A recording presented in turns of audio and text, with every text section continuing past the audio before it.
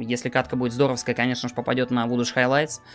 А, заранее передаю там всем большой привет и спасибо за просмотр. А как же я? Малыш, ведь я же лучше.